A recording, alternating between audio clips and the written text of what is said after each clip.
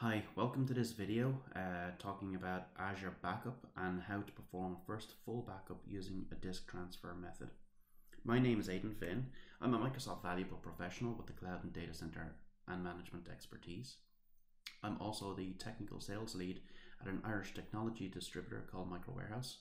We distribute or wholesale Microsoft technologies and other technologies such as DataON storage for storage spaces around Ireland and the European Union. I blog on aidanfinn.com and I also am the contributing editor on Microsoft Virtualization for the Petri IT knowledge base on petri.com. I've written a number of books over the years, particularly around private cloud stuff such as Hyper-V and System Center, and I tweet as at Joe underscore Elway. In this video, I want to talk about how we can solve one of the challenges of performing the first full backup in an online backup scenario. If we consider a customer who has uh, a good bit of data on premises, if they're backing up to the cloud, one of the biggest concerns we have is bandwidth.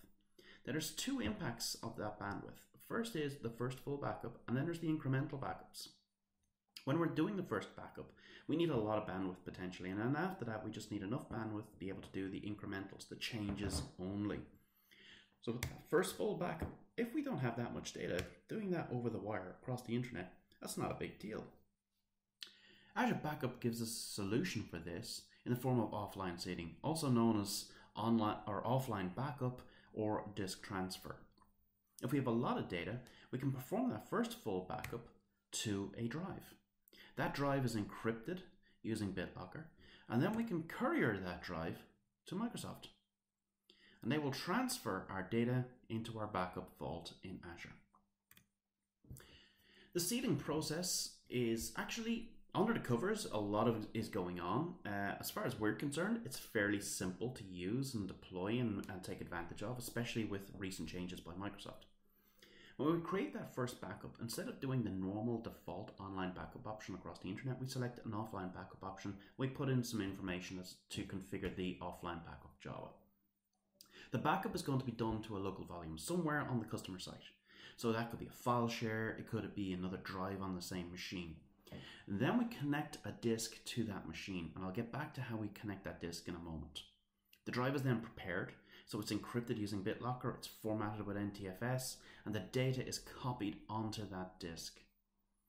An import job is created in the storage account in Azure, and then we enter in some details to complete the shipping of that disk, and we send off our disk via courier. Now the disk is safe because it is encrypted using BitLocker, so we don't have to worry about data protection laws if the disk is lost. Microsoft then take that disk and they import the data into a, that storage account for us. The data is then automatically moved from the storage account to our backup vault by Azure Backup. Azure Backup is expecting the data to appear in the storage account. And at that point, our on-premise backups start doing incremental backups to the cloud. And that's automatic as well because Azure Backup is orchestrating the entire process.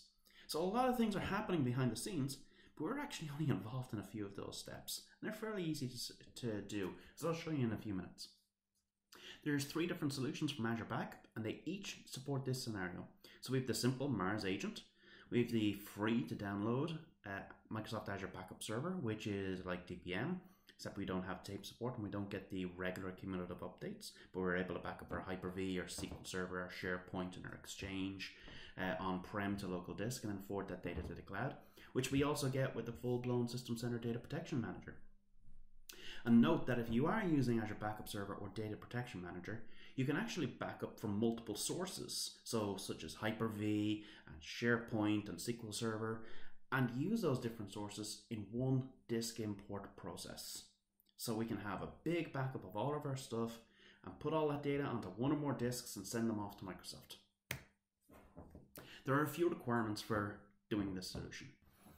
First thing is you're going to need some courier accounts. You're going to need a courier account to send your stuff to Microsoft. And um, you can actually use any courier to send your disks to Microsoft.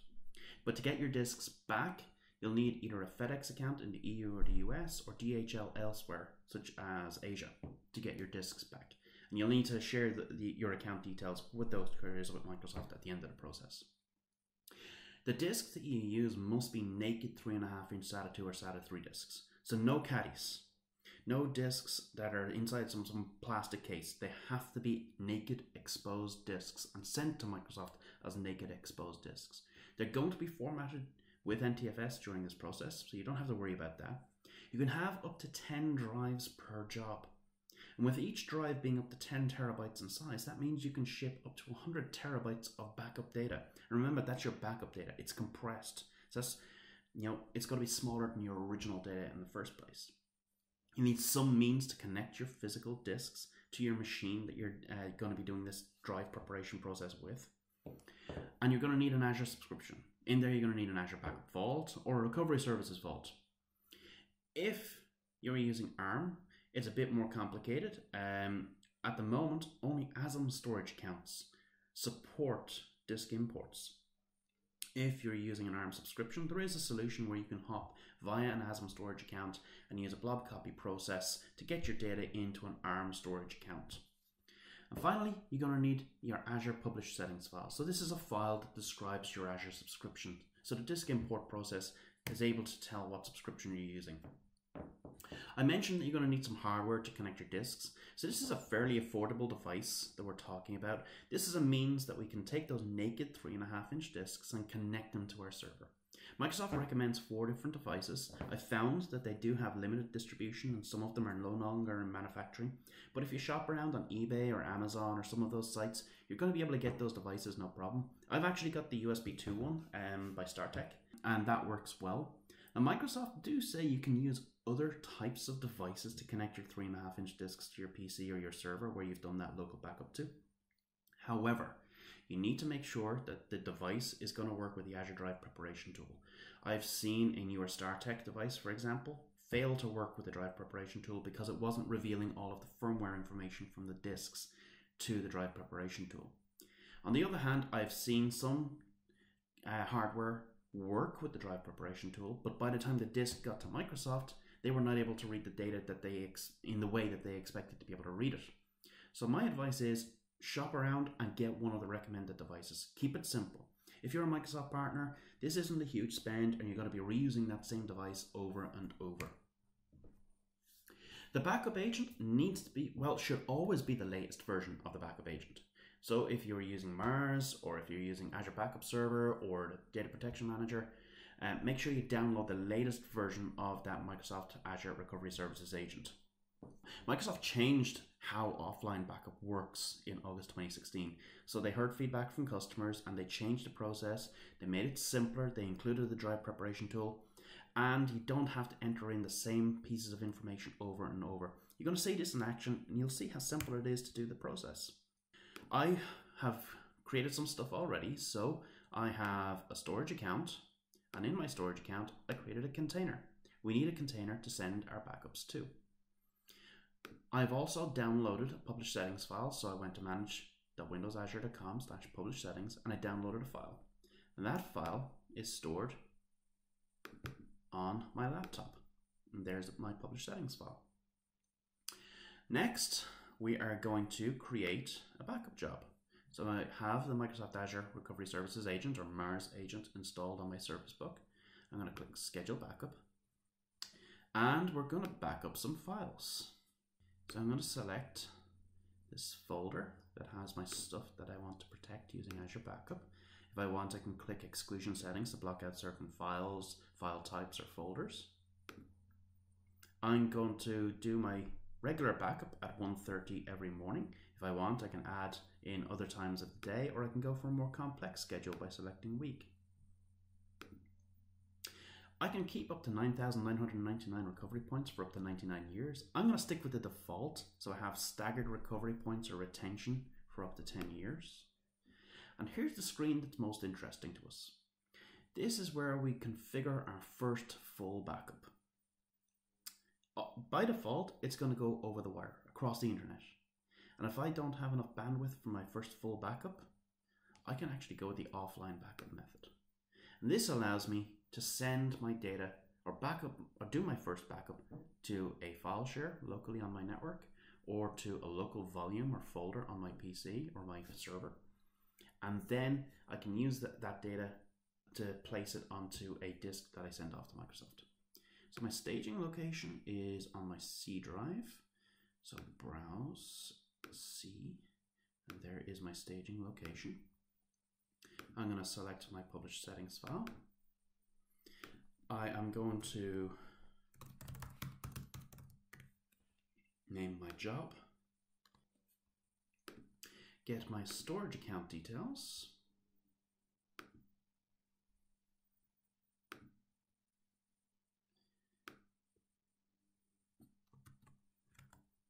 put in the name of my storage account, and then get the name of my container, which is called Azure Backup. Next, and finish. That will create my first scheduled backup. I'm doing the offline process, so I don't want to sit here until half one in the morning to get this going. Maybe I do if I have a lot of data and I want to minimize impact to my production environment.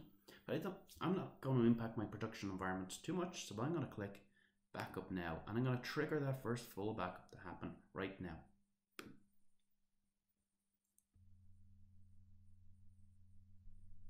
And by the magic of video editing, my first backup is complete.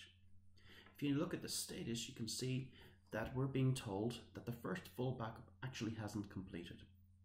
We need the disk import to complete before the first full backup is completed. At that point, Azure Backup will automatically switch us over to incremental backups and then we won't have that huge impact on bandwidth. So I'm going to close and we're going to complete the process. The next step is we need to launch an elevated command prompt and browse to Program Files, Microsoft Azure Recovery Services, Agent, backslash utils, backslash Azure Offline Backup Disk Prep. And I'm going to run a command, Azure Offline Backup Disk Prep.exe with a flag of S colon and the path to my temporary backup location. Let's have a look at our temporary backup location and we can see we have a new backup job there. And here are the contents of our backup. We'll run that and now the drive preparation tool is going to format is going to ask for my disk it's going to confirm that I want to format my disk with NTFS.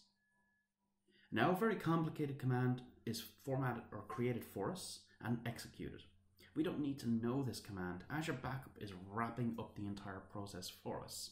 So the prep import command with some very long parameters is run and we just have to sit back and wait and watch as the drive is formatted with NTFS and then encrypted using BitLocker. The job is now completed so the backup blobs have been copied from the disk of my machine onto the external 3.5 inch SATA disk. We can see that the blob copy task is completed successfully. We have the name of the storage account and the import job name. We can see the details of where we're sending the data to, so Azure North Europe, which is Dublin. And we have the address of where we need to send the package to via our courier. There's also some other links here so we can track what's going on. I mentioned earlier that the drive is encrypted using BitLocker. If we scroll back up, we can see that we also have a recovery key for BitLocker. The next step is we'll use the link that we're provided to go to the Azure Management Portal and complete the process. We go into our storage account and go to Import Export. And here we can see there is a backup job. We can go into this job, edit the shipping information, so put in my details, and then put in the details of my FedEx or my DHL contract.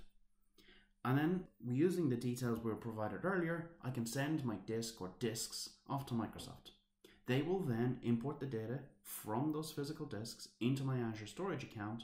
Azure Backup will transfer the data from the storage account to the backup vault and automatically orchestrate the switchover from full backup to incremental backups on my Mars Agent, DPM server, or Microsoft Azure Backup server. And that's how we can complete our first backup using Azure Backup via the disk transfer method.